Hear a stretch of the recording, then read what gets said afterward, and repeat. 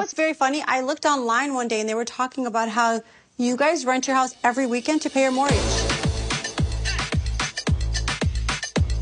No, I have not. I have not rented my house one time in my entire life. Well, your so- backyard. You you rent your backyard. No, I don't actually.